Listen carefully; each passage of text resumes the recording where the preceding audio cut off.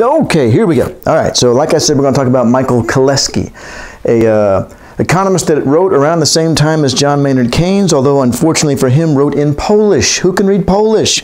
Uh, and he came up some, with some very similar conclusions, but approaching the question of uh, unemployment from a different direction, which is what makes this so interesting.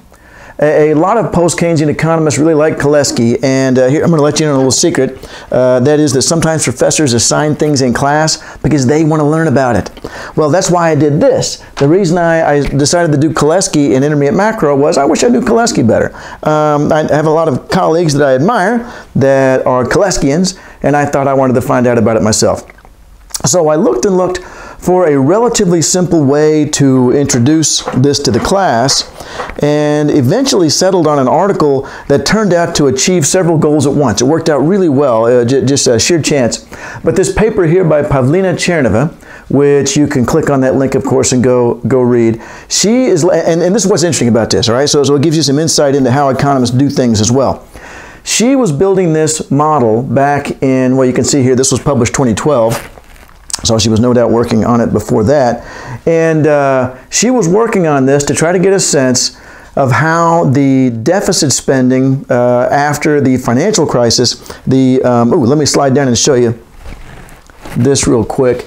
Uh, there's a study question later on it, but let me skip down to it to show you. There it is. Yes, the American Recovery and Reinvestment Act of 2009. Okay, so this was the big fiscal stimulus that took place after the financial crisis. And so her question was okay, but how much is this really helping the people that directly need the help? And so, in order to answer that question, even though she's a post Keynesian type person, she did not go to Keynes. She instead went to Kalecki. And let me tell you why. Kalecki, having uh, grown up in Poland, uh, knew Marx fairly well. And he approached things from a Marxist perspective, not in the sense that those of you who have also taken contending perspectives, that he believed in the uh, you know collapse of capitalism and so forth, but that the way he tried to understand the economic system was not by types of spending. All right. Now Keynes is doing types of spending. There's investment spending. There's consumption. There's government spending.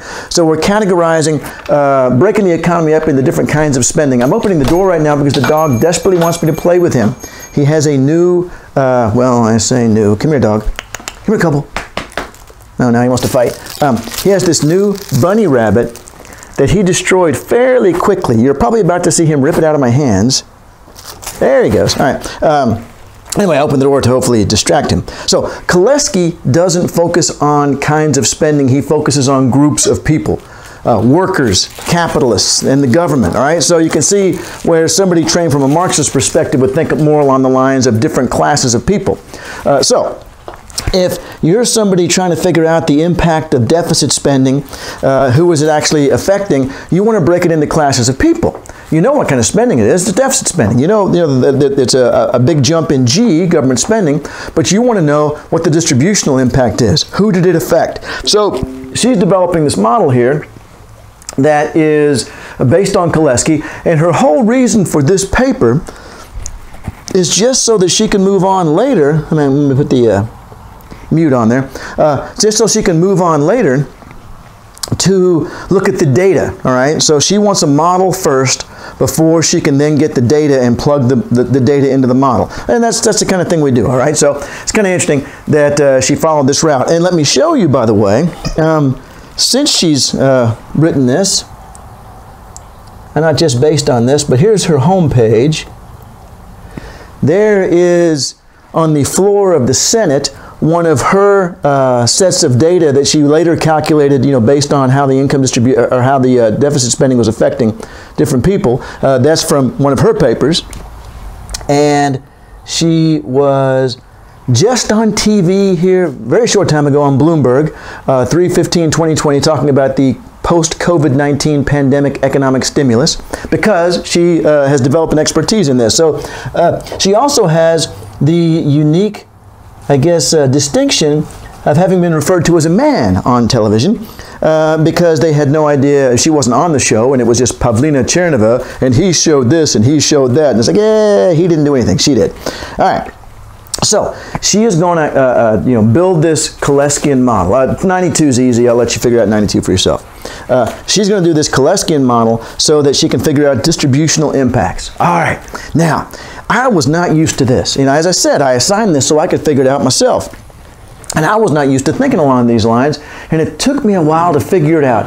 And once I did, uh, you really get some insights that you wouldn't have otherwise. Sorry, I'm having to play with the dog again you really get some insights you wouldn't have otherwise. Now, I'm going to have to do this on the board over here, which is going to be especially difficult with him wanting to be played with right now, but we'll see how this works out. So, let me move over here to the marker board. Check out the monitor. I'm going to have to zoom back a little bit. Eh, eh, eh, before I do that, so what's the first study question that's about the math here, right? The first study question is, show how starting with uh, P sub C W sub Z, that, that equation, uh, how consumers spend what they get and investors get what they spend. Six equations, some notes. All right, so this is all uh, manipulating some equations. And so let me go right over here and I will show you how to do this. Okay. All right. The question gives you this equation, all right? It gives you P sub C, Q sub C is equal to W sub C, N sub C plus W sub I, N sub I. Let me check the monitor and make sure all that showed up. Yes, it did. Uh, now, here's what those variables mean, okay? Uh, and she's breaking things down differently from the way we have broken them down so far, again, because she's following Kalecki here. These subscripts refer to specific sectors of the economy. Sorry, kind of hard to write this way. Uh, of course, as you know from having been in the class, I don't write that well even when I don't have this uh, problem right here. Let me turn this light off and see if that cuts back a little bit of the glare. It does. However, I may need to turn on another light. Uh, anyway, let's see. Well, maybe I could just move this one. Yeah, I think that helped. All right. Um, so, consumption.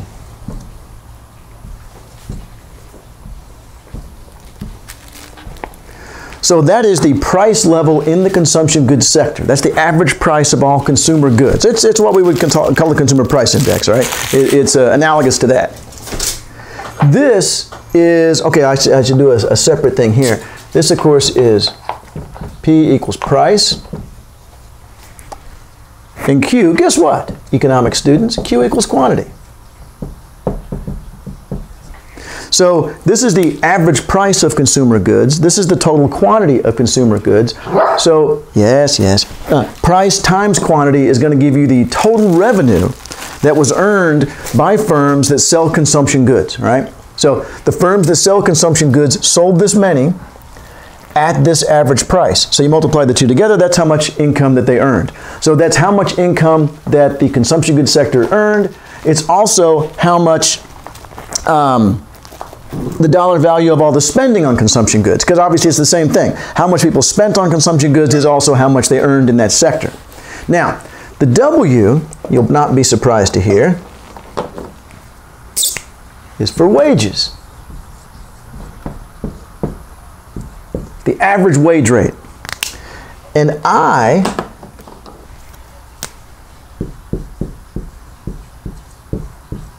is investment. Subscript I is investment. I'm going to have a look over here at the monitor a little closer to make sure. Uh, I may shift the, the, the camera's focus just a tad here since I wrote so high up on the screen. There, all right. So, uh, once again, the uh, subscripts, uh, well, I'm sorry, let, let, me go back to the W and the N. This is the average wage rate. Oh, I forgot the N. Let's see, what color have I not used? I haven't used blue, all right. Oops. Blue. Uh, let's see. N is, as you already know, because we've already done this, we've already used N for employment. Okay, so WCNC is the average wage rate in the consumption goods sector, or the average wage rate earned by workers in the consumption goods sector. Picture Walmart, all right? The average wage that they earn multiplied by the number of people that are working in that sector, the number of employees at Walmart. So the average wage at Walmart multiplied by the number of workers at Walmart. And so you multiply those two together, and economists call that W times N. They call it the wage bill. Now, why am I so concerned that I get a, a, yet another different color? I don't know why I am, uh, and I think I'm out of colors. So, W, oops, let's see, W times N equals wage bill. It's a, a handy way to reference it. That the wage bill is the total bill that Walmart had to pay out in wages. All right, so W times N is the wage bill. It's the total amount that they paid out. So the wage bill in the consumption goods sector is right here, W times N. And the wage bill in the investment goods sector is here. All right. Uh, so these are the people that work at like the construction company that's outside the window of our classroom that we may never see again, um, where they're building the performance hall that we may never be able to use. Uh, and so uh, these are construction workers, let's say. That's the average wage of a construction worker and the average number of people working in the construction goods uh, industry. So that's the wage bill in construction goods, the wage bill in the investment goods sector, right? Wage bill in the consumption goods sector, wage bill in the investment goods sector. Now, now let's look at the equation. Uh, oh, and I'm sorry, let me say, let me say this too. I, I want to make this clear too. Um, no, no, no, that's okay. Yeah, that, that's good. All right. So uh, now let's look at the whole equation. And I think if you don't mind, I'm going to Nah, I'll leave it like it is for now. I, I want to erase all this other junk here, but I'll leave it like it is for now. So, uh, what Kalecki is saying with this opening equation is that he is making a simplifying assumption. He's saying, what if all the Walmart workers tend to spend all their money? And what if all the investment, what if all the construction workers tend to spend all their money?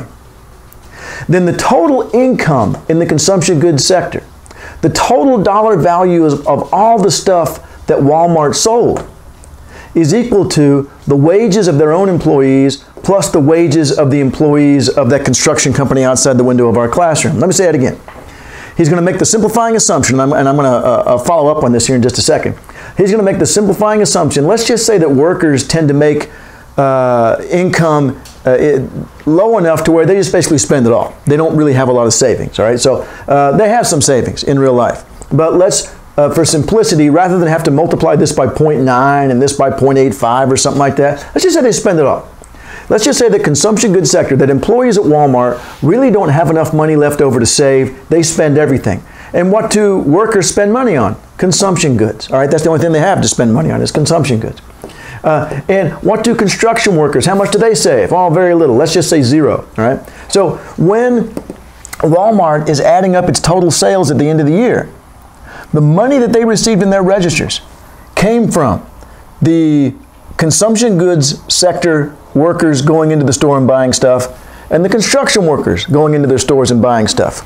Now, let me back up here to a previous study question to uh, show you how far off Kalecki is. Because Kalecki, like I say here, is making a simplifying assumption. Let's say that people, that, that workers spend all of their money. We've actually covered this, and, and I didn't tell you this at the time, but the specific reason for including this was to come back to it now.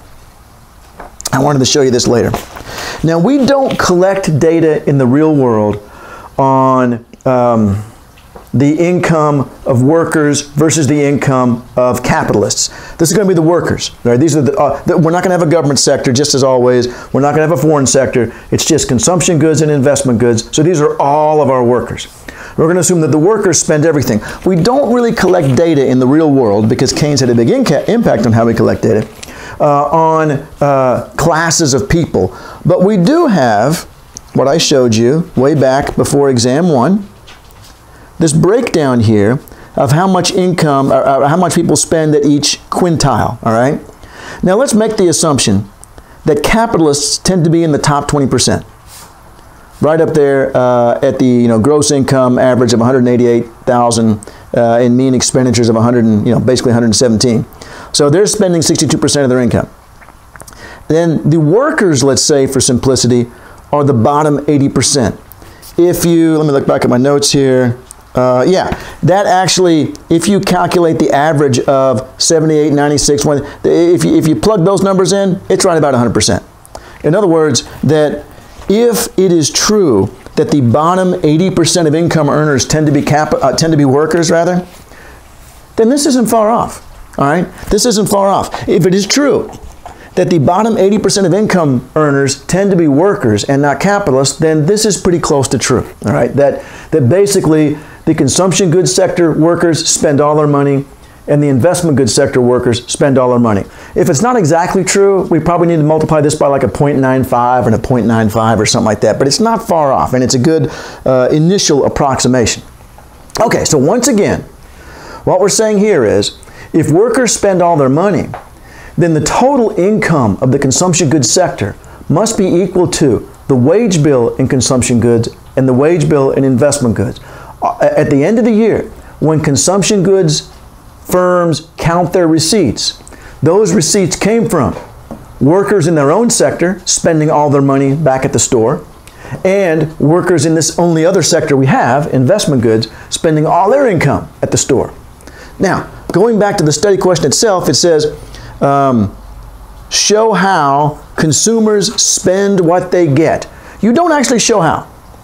Uh, Kalecki is just assuming that consumers spend what they get. These are consumers. I mean, they work in the consumption goods, they work in the investment goods, but they're consumers. They spend everything. Well, actually, we don't actually show that. We simply assume it, all right? So uh, I'll show you the, the, the complete study question answer here in a minute, but that's the first part of the puzzle it asked you to prove two things in the study question. One was that consumers spend what they get. Well, we just did that, and, and actually it was actually by assumption. Now, it's going to take us five more equations to get to this following thing. Investors get what they spend, or capitalists get what they spend, all right? And let me show you how you do this. All right, let's put that first equation again. Wow, there's some sort of bee in here. Now, there's a lot of bugs uh, coming out because it's warm right now, and I have the door open so that the dog, if he wants to, can leave. And it's unfortunate letting a lot of wildlife in. But anyway, uh, yeah, there's some sort of big mosquito-looking thing right there. So, all right. Uh, and then look, I don't, oh, it flew away. I was going to show you. All right, so let's start here with the PC QC equals, and again, the study question itself gives you this equation. You don't have to remember this. Well, hell, you don't have to remember anything right now because we are uh, having to do exams to where you're allowed to use your study questions. But anyway, in another semester, this would not be something you had to remember because it's in the equation. Okay, so the next goal here uh, with these equations is to figure out um, how it is that, you know, uh, claims that, and, and this goes back to this. I should, I should jump ahead to tell you this. Remember back when I was telling you about the business cycle? And I said at the top, there tends to be a fall in investment, all right? And there also tends to be a fall in profits. There also tends to be a fall in profits. Now, we explained that way back then when I first did it. Let me make this a little thicker. Explained that way back then when we first did it as, you know, well, Firms are cutting back on investments, so therefore firms' sales fall and therefore their profits fall. But there's actually more to it than that. Kalecki is saying there's an extremely high correlation between investment and profits. And then in fact, the investment spending money tends to create the profits. All right, so that's what we're going to be getting to here eventually. So we want to figure out profits. So uh, let's say this, this next equation is going to be, and we're going to do it this way. Um, you're given this equation, then the uh, next equation is going to be, okay, well, what are profits in the consumption goods sector?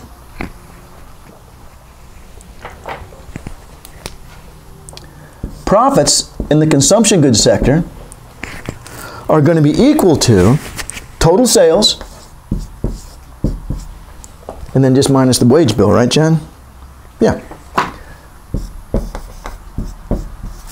Minus the wage bill. This is one of those things I told you I had to sit and think about it for a while. I had not considered it this way before. I had a tough time with this equation until I, I had a mental breakthrough. And that was this. All right, so what we've got here is profits in the consumption goods sector must be their total sales minus their total costs. And then you get your profit. Total sales minus total costs. And, and what confused me initially, and I was thinking too micro, remember I said at the very beginning of the semester, uh, one of the very early study questions, you've got to be careful about the fallacy of composition, about thinking about macro as if it were micro. You can come to some very illogical conclusions. You, thinking like a macroeconomist requires a, a, here's an overused term, a paradigm shift to where you, you, you start thinking in terms of the whole system and not individual units. Here's the deal. I'm sitting there thinking as I, when I read this the first time, wait a minute, profits are going to be equal to total sales minus something, sure. But it's going to be like the, the labor costs and then like the capital costs and the rent and stuff like this. No, no, you idiot, John Harvey. All right? At a macro level, there is only one cost, and it's labor. There is either, uh, uh, think about this. Okay, we just ordered um, for dinner tonight uh, food from there you go, dog. Go chase that. Whoops, I didn't get it outside. Um, the uh, uh, Blue Mesa, all right? So I had something, I don't even remember what I had. Uh, let's say it was fajitas. It wasn't. But uh, had fajitas. Now, when Blue Mesa made those uh, fajitas, first of all, they had to pay the chef and then pay the people that put it in a, you know, a, a box and then the person that drove it over here. And they also had to pay for the chicken, right? So like, yeah, so it's not just labor. They also had to pay for the chicken. But wait a minute, they didn't pay a chicken though, all right? In fact, that would have been a really, really sad thing. Here, here's, here's five bucks, we're about to kill you. Um, that, in fact, they uh, don't pay the chicken, they pay the farmer. Or, you know, whatever the massive conglomerate is that grows chickens. Uh, so nowhere at any level does anyone actually pay coal, pay metal, pay gasoline. They pay people, all right? Everything that you spend either ends up in profit or in wages, one way or the other. Now we can, you know, uh, expand the definition there somewhat, but it's going to remember that total GDP is not just total sales, it's also total income. Aha! So what's total income? Well, it's either going to the capitalists or it's going to the workers. It's either coming out as wages or as profits. So in other words, when you drill down and you keep saying, let, us go back to the fajita example. Okay, they had to pay the chef and they had to pay the person who drove it over here, and they had to pay the uh, workers who put it in a box. Ah, but then they had to pay for the chicken, and that's not here. Well, yeah, it is. It's still there because of the fact that they don't pay a chicken, all right? They don't pay a chicken. They pay the people who made the poor chicken, all right? And then told it that uh, don't worry about anything. Um, it's just a, a, a, change of scenery for you, is what they told it right before the bad thing happened. Uh, so, Ultimately, the only cost at a macro level is labor costs, right? That's it. Think about that. When you drill down, again, nobody pays plastic. Nobody pays, uh, uh, you know, when they made this pen here, nobody gave plastic some money. Here, go have a good time. Uh, and instead, they just paid workers and they paid capitalists, and that's it. That's where the income ends up. So, for the entire consumption goods sector, not for one firm, but for the entire consumption goods sector, for the, the sector that just sells consumption goods to you and me, their profits are equal to their total sales minus the total wage bill in that sector. That's their profits. But wait, check it out. Look at this equation. All right, now look at this equation and compare it to the previous one. And see if you notice something. See if you notice, and this is another one that took me a while to figure out, all right? See if you notice what that's equal to. PCQC minus WCNC is equal to this.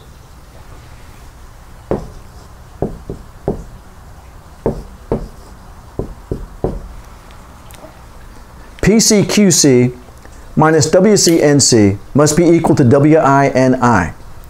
And again, as I just said, this one's the one that, that took me a while to figure out. And I was like, oh my God, of course, this makes so much sense now.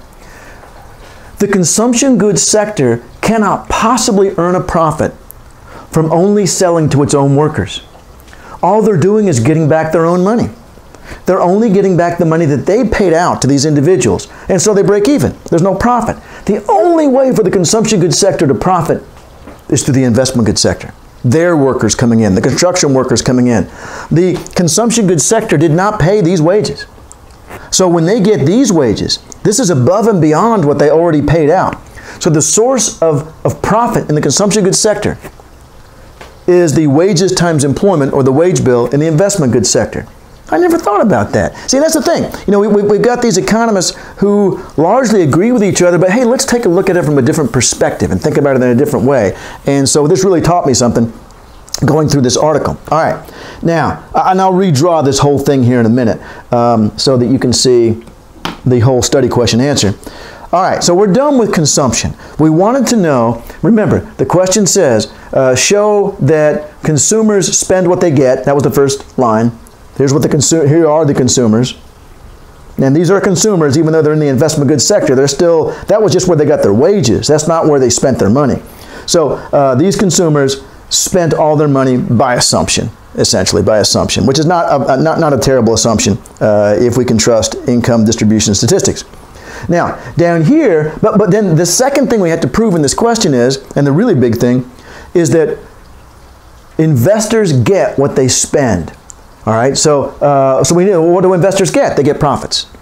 Right, so the, so the next line is, okay, we know, we, we've proven the first thing. What are the profits in the consumption goods sector? And guess what? What are we going to do next? We're going to do profits in the investment goods sector. That's what we're after next. So, investment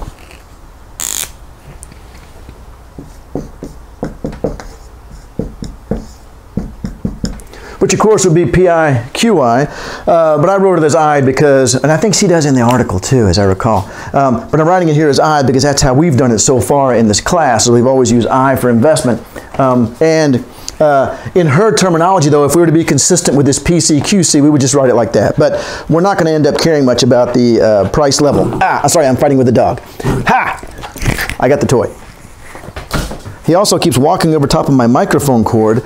Um, this is much better than a wireless mic, but it's also dragging all over the floor. Uh, so, what is total investment spending equal to? Which equation do I have first here? That one. He is right now laying his toy on my leg to induce me to try to steal it from him. But I will not. Okay, yes I will. Got it. Oops, bounced it off the door. Uh, okay.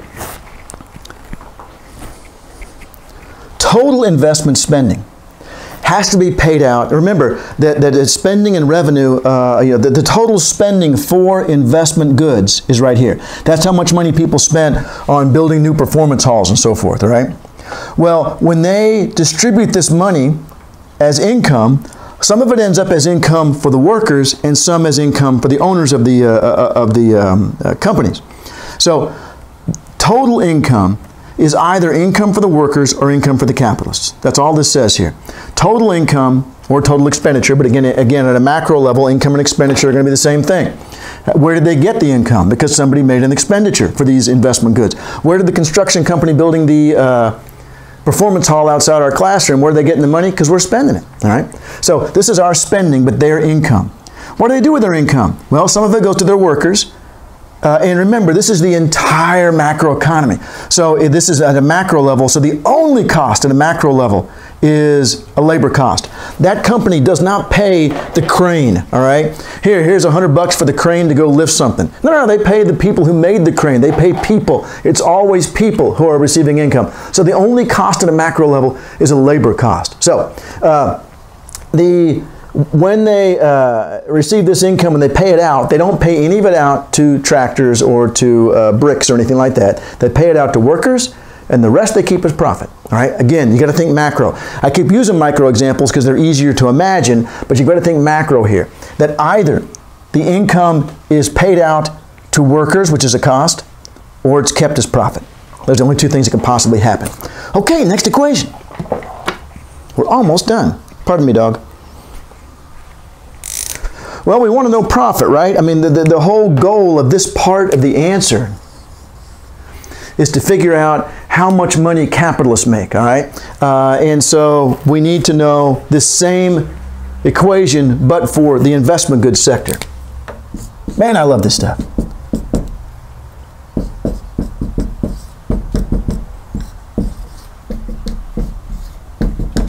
Voila, as they say in France. There is our profit equation for the investment goods sector profits in the investment goods sector are equal to total revenue in the investment goods sector minus total costs in the investment goods sector. And remember, ultimately, you're only paying workers, right? You never pay a tractor or a brick. So they're very similar to this equation up here. Look, total profit in the consumption goods sector is the total revenue they earned minus their total costs, which is only labor cost. Same thing here, exact same thing here. Total profits in the investment goods sector equal to uh, their total revenue minus their total costs. Okay, now check this next part out. Let's see, let me turn on the fan in here because it's getting a little warm. Um, check this next part out. What we want to do now is add those two profits together uh, to, in order to find out what total profits are equal to. And you're going to find something very interesting here. Let's see. So interesting that I'll write it in red. I hope that this is still, yeah, I can't write much lower than this though, can I? Okay. Pi c plus pi i. All right, so profits in the consumption goods sector plus profits in the investment goods sector are, of course, uh, I mean, I'm going to write, that's just total profits. I'm going to do a profit without a subscript, but that's just total profits, the entire macroeconomy. Now glance up here and look. Check this out. What are profits in the yeah. What are profits in the consumption goods sector? Well, there they are. Okay, so let's write that down. That'll be our first equal to W-I-N-I. All right, so we've got consumption goods sector profits plus investment goods sector profits. What are consumption goods sector profits? We worked that out in the second equation. That was W-I-N-I, all right? Plus, and what were profits in the investment goods sector? And gosh, I guess I'm going to use I again.